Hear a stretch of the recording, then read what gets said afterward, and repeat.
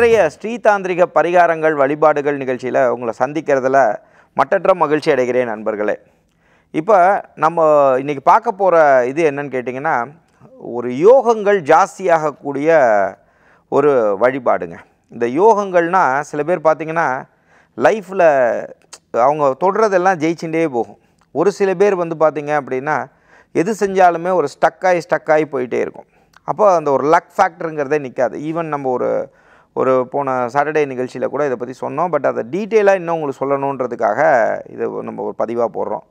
So இதில் நீங்கள் என்ன செய்யுங்க அப்படின்னா இது வந்து ஒரு இதுக்கு தேவையான விஷயங்கள் என்ன அப்படின்னா உங்களுக்கு வெத்திலை ஒரு தேன் சரிங்களா? அதோட அதில் நம்ம சொல்லும் போது அந்த பூஜா விதானங்கள் நிறைய சொல்ல முடியலைங்கிறக்காக இதை நான் ஒரு பதிவாக போடுறேன். ஸோ அந்த வெத்தலையும் தேனும் தேவை. இதை தவிர்த்து நீங்கள் செஞ்சுக்க வேண்டியது இதெல்லாம் இந்த மாதிரி ஒரு விஷயங்கள் யோகா அவயோகங்கள் வேணும்னா ஃபஸ்ட்டு உங்கள் ஜனனகால ஜாதகத்தை போய் உங்கள் கற்ற ஜோதிடரிடம் உங்களுக்கு பிடிச்ச ஜோதிடரிடம் இல்லை குடும்ப ஜோதிடரிடம் போய் பாருங்கள் குடும்ப ஜோதிடரிடம் போய் பார்த்து அதில் உள்ள யோகா அவயோகங்களையும் பார்த்துட்டு அதுக்குள்ள வழிபாடுகளை தெரிஞ்சுக்கோங்க.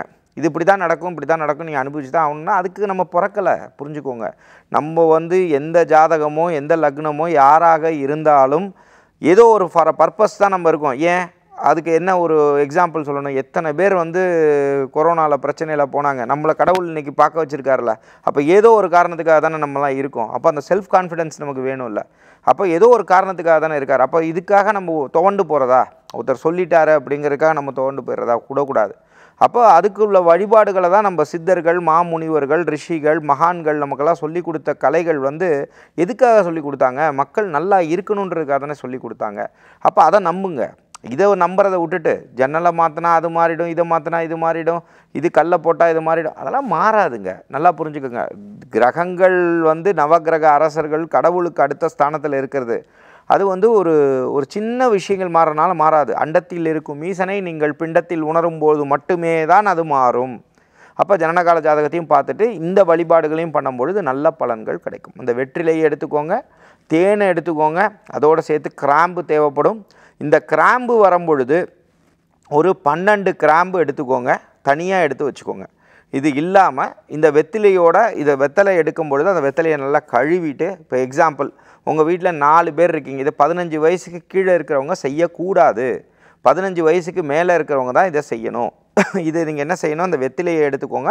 வெற்றிலையை நல்லா கழுவிட்டு அதுக்கப்புறம் அந்த தேனை வந்து தேய்க்கும் பொழுது ஓம் சிவ சிவ ஓம் ஓம் சிவ சிவ ஓம் ஓம் சிவ சிவ ஓம்னு அதில் நல்லா ரப் பண்ணிடுங்க அந்த தேனை நல்லா அப்ளை பண்ணிடுங்க அதோடு சேர்த்து நீங்கள் என்ன செய்யுங்கன்னா கொஞ்சோண்டு குங்குமப்பூவை எடுத்துக்கொள்ளுங்கள். குங்குமப்பூவை எடுத்துட்டு இப்போ நீங்கள் செய்ய வேண்டியது வந்து ஓம் ஜனவசிய சிவாய வசிய ஸ்வாஹா ஓம் தனவசிய சிவாய வசிய ஸ்வாஹா ஓம் யோகவசிய சிவாய வசிய ஸ்வாஹா. அப்படின்னு சொல்லிவிட்டு உங்கள் தலையை இருபத்தேழு தடவை சுற்றிட்டு இதை நீங்கள் என்ன செய்யுங்கன்னா அந்த வெற்றிலையில் போட்டுருங்க.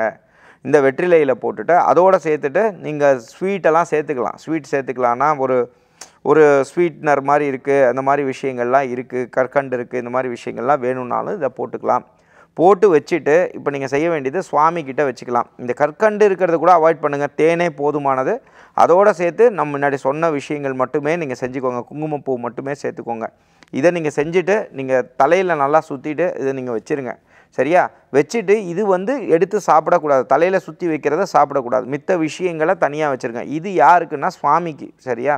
இதை நீங்கள் வச்சுட்டு இதை இந்த பூஜைகளை முடிச்சுட்டு இதை நீங்கள் சாப்பிட்றலாம் இந்த பொருளை ஒரு நாலு பேர் இருக்கீங்கன்னா நாலு பேர் இருக்கிறத இதை நீங்கள் சாப்பிட்றலாம் இதை நீங்கள் தொடர்ந்து செய்கிறது வெள்ளிக்கிழமையில் ஆரம்பித்து நீங்கள் தொடர்ந்து செஞ்சுட்டு வரலாம். ஒவ்வொரு வெள்ளிக்கிழமையும் செஞ்சுட்டு வரலாம். இதை நீங்கள் செஞ்சுட்டு வரும்பொழுதே ஒரு பன்னெண்டு வெள்ளிக்கிழமைகளுக்குள்ளேயே உங்கள் வாழ்க்கை மாறிடும். கண்டிப்பாக உறுதியாக ஒரு சில லக் உங்களுக்கு வரும்.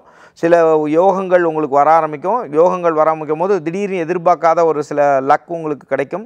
திடீர்னு ஒரு பண வரவு ஏற்படும். அந்த மாதிரி ஒரு இதை ஒரு நல்ல விஷயங்கள் ஒரு கல்யாணமே இருக்குது ஒரு தடப்பட்டுண்டே இருக்குது அப்படின்னா டக்குன்னு ஒரு வரன் வரும். எல்லா வகையிலையும் நீங்கள் எடுத்துக்கோங்க. ஒரு அஞ்சு வயசுலேருந்து ஒரு எண்பது வயசு வரைக்கும் யார் வேணால் இது பண்ணலாம். அதாவது பண்ணலான்னா அதுக்கு பயன்படும். சரிங்களா? ஆனால் நீங்கள் பதினஞ்சு வயசுக்கு மேலே இருக்கிறவங்களுக்கு தான் இந்த வெத்திலையே சாப்பிட சொல்லணும். அதுக்கு முன்னாடி இருக்கவங்களுக்கு கொடுக்கக்கூடாது. இதை நீங்கள் தொடர்ந்து செஞ்சுட்டு வாங்க. இதோட சேர்த்து அந்த கிராம்பு மிச்சம் நீங்கள் எடுத்து வச்சுருக்கீங்க இல்லையா? அந்த பன்னெண்டு கிராம்பு எடுத்து வச்சுருக்கீங்க இல்லையா? இதை நீங்கள் என்ன செய்யுங்க அப்படின்னா தொடர்ந்து விடாமல் நீங்கள் செய்ய வேண்டியது ஞாயிறு திங்கள் செவ்வாய் புதன் வியாழன் வெள்ளி சனி.